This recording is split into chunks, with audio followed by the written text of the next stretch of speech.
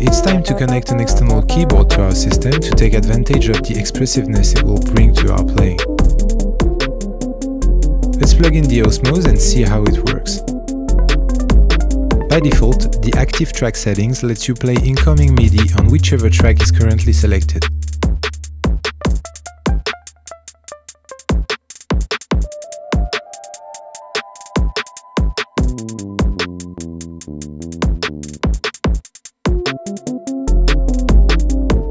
To access that setting, go to Global Settings and open MIDI in.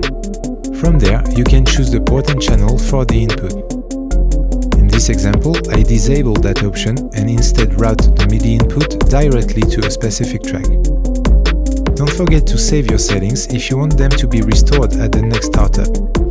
Then I'll go into Track Settings, open the MIDI in menu and set the correct port and channel for this track. While we're here, let's also assign a CC message for the modulation lane. We'll use that later on.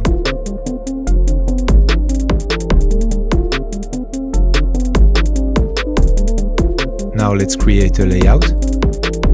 I'll go with a 3-voice mono plus aftertouch plus modulation layout to get the most out of Osmose's expressivity.